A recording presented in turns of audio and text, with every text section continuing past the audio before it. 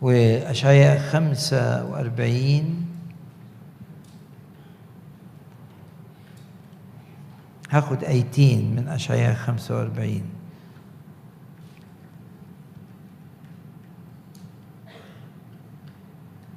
هكذا يقول الرب. الأبواب لا تغلق. يعني باب اللي فتحه الرب ليك لن يغلق. لن يغلق.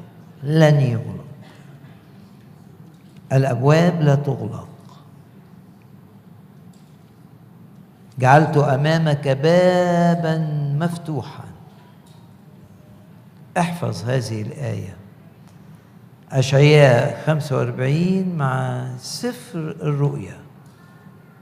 أصحاح ثلاثة. قد جعلت أمامك بابا مفتوحا. مش أنت اللي فتحته الرب اللي فتحه ليك.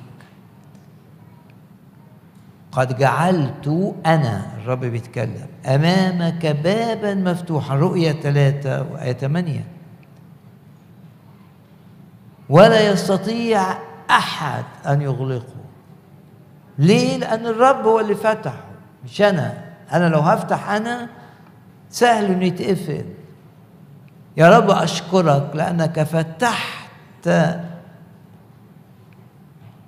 الباب ولا يستطيع أحد أن يغلقه. ممكن الباب اللي فتحه الرب ده خروج من مذلة خروج من عبودية خطية خروج من مشكلة عائلية. باب اتفتح. ممكن يكون الباب اللي فتح باب تعويض في حياتك. ممكن الباب اللي فتح ده باب للانطلاق في خدمة الشفاعة. ممكن يكون الباب اللي اتفتح ده انطلاق في خدمة الرعاية. انت اللي تعرف مع الرب.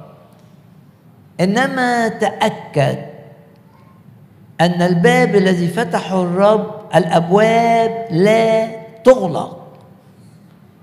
لا تغلق. الملك حزقية راح فتح أبواب الهيكل بالرب طول حياته الأبواب مفتوحة لم تغلق.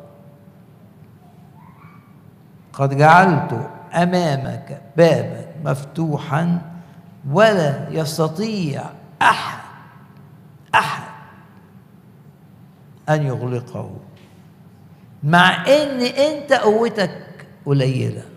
وهو ده آه المجد في الآية دي. إن رغم إن أنت قوتك يسيرة يعني ما تقدرش تحمي نفسك. وممكن تيجي آه أنت إنسان فممكن في السكه تتزحلق تقع. بس رغم كل ده القوة اليسيرة الباب الذي فتحه الرب لا يستطيع أحد أن يغلقه. والبيبان الخادعة اللي فتحها إبليس تغلق.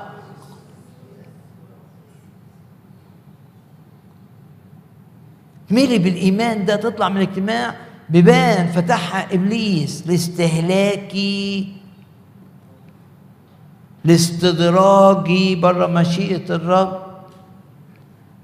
ببان فتحها إبليس لإنهاكي لتعطيلي. تغلق. آه ده يبقى تعلن إيمانك. يتقفل الباب.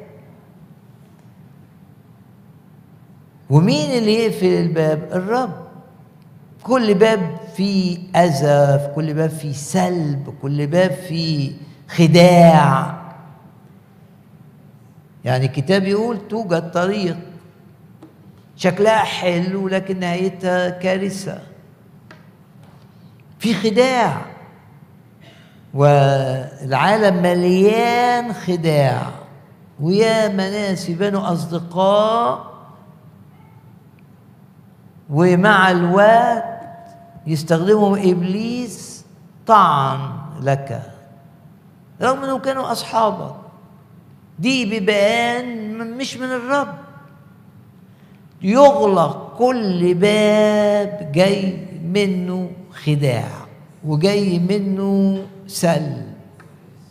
يغلق. جاي منه استنزاف. يغلق. ليه تبقى كده وانت بتصلي عندك ثقة. تحسم أمورا. زي ما بيقول الكتاب تحسم الأمر وانت بتصلي. تحسم. تقول المشكلة دي تقع يعني تقع باسم الرب يسوع. قد جعلت أمامك بابا مفتوحا. ولا يستطيع أحد أن يغلقه. لا يستطيع لا يستطيع لا يستطيع. مع ان ده المجد اللي في الآية دي. هي فيها مجد إن الرب يفتح باب لكن مجد أعظم إن الباب يتفتح وأنا قوتي قليلة. لأن لك قوة يسيرة. لكن لأنك تمسكت بكلمتي لأنك حفظت كلمتي ولم تنكر اسمي. أديك هيبة وأديك يقول لك أجعل الذين من مجمع الشيطان يأتون ويسجدون أمام رجليك. ده تعبير. لأن الرب يدي المؤمن هيبة أمام العالم الشرير هيبة يأتون ويسجدون أمام رجليك ويعرفون إني أنا إيه أحببتك. بربط الآية دي بأشعية 45 والأبواب لا تغلق. أنت بقى بترجع البيت تبتدي تفتكر الآية كانت هنا الآية كانت هنا الآية دي كلمتني لا الآية دي مش وقتها الوقت. وتبتدي تصلي وتمسك بالآية وتتعزى روح القدس يزورك وتحس بحاجات ما كنتش بتحس بيها قبل كده.